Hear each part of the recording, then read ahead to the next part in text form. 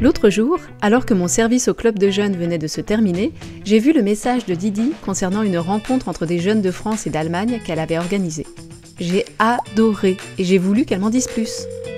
Eh bien, j'avais des doutes, mais l'atmosphère et l'entente dans le groupe étaient excellentes dès le début. Mes jeunes se sont tellement amusés avec les jeunes d'Allemagne, j'aurais jamais pensé ça. C'était également intéressant de voir comment fonctionne le système d'enseignement professionnel là-bas. Ça a l'air génial Et comment êtes-vous arrivé à ce projet? En fait, nous sommes dans un réseau franco-allemand, DIPA, Diversité et Participation. Ce réseau met en relation des acteurs et actrices du travail de jeunesse et de différents types d'institutions à Paris, en Ile-de-France, à Berlin et dans le Brandebourg. Nous avons rencontré notre partenaire lors de l'une des rencontres annuelles. Lors de cette rencontre, on peut échanger des idées, se former, faire plus ample connaissance et faire la fête. Mais dis-moi honnêtement, comment avez-vous réussi financièrement à faire quelque chose comme ça?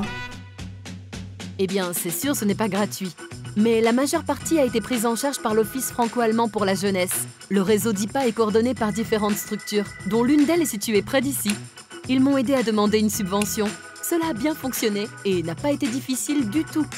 Vraiment? Mais alors, c'est juste pour les écoles, non? Avec notre club de jeunes, nous ne pouvons certainement pas participer. Non, non, j'ai fait la connaissance d'enseignants par l'intermédiaire du réseau DIPA, mais aussi de professionnels du travail social et de bénévoles qui travaillent avec les jeunes. L'objectif est de toucher en particulier les jeunes qui, jusqu'à présent, n'ont que peu ou pas participé à des projets similaires. Les compétences linguistiques ne sont pas nécessaires. Il y a des solutions, crois-moi. Je ne parle pas allemand, comme mon groupe.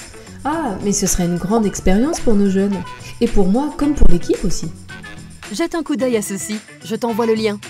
Quelques semaines plus tard, j'ai fait la connaissance d'une structure qui fonctionne de manière très similaire à la nôtre. Et ils étaient tout aussi curieux que nous à l'idée de faire un projet commun. Nous avons ensuite abordé ensemble la préparation. Il y a beaucoup de choses à penser.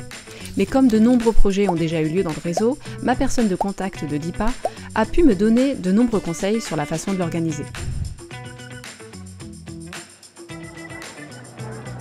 C'était vraiment un projet génial, n'est-ce pas? Je suis tellement contente qu'on l'ait fait.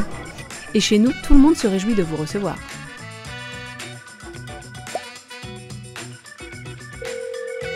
Bien sûr, c'est aussi possible pour vous. Il suffit de demander. Il existe aussi des réseaux qui relient d'autres régions.